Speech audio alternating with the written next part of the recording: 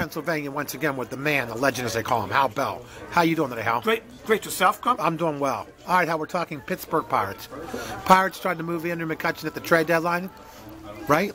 But they said that uh, they didn't go. They weren't the aggressor. Teams were coming to them. Yeah, I don't think that it was quite that way, but you know, I get a pass a little bit of credit. They just weren't going to salary dump him like they did Walker. Okay. So, to, uh, holding on to him, I guess they're going to get value right at the trading deadline.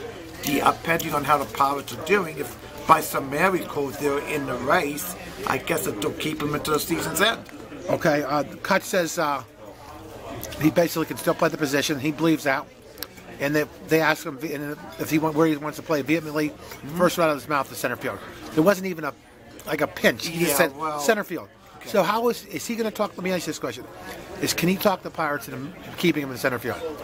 Well, I know Hurdle has gave him all of the benefits, but he's the manager.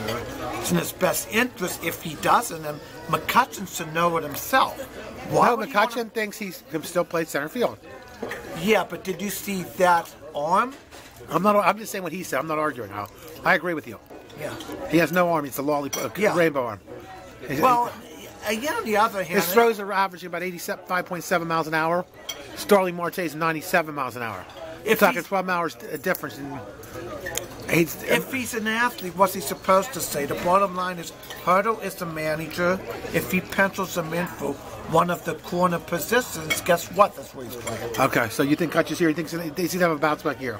I I think he is. I think he is. I don't know if um, you know, I don't know if he's going to be in the MVP race, but I think he's going to have a better season. Okay, as usual, did last year. we appreciate the man, the legend, Hal Bell.